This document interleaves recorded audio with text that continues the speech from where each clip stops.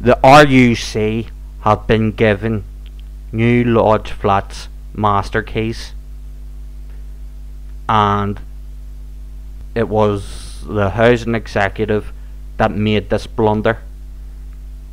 Residents are angry, and correctly so. How would you feel if ISIS or Al Qaeda were given the keys to your house? And this occurred in the month of June, and the master keys are at Tennent Street RUC station.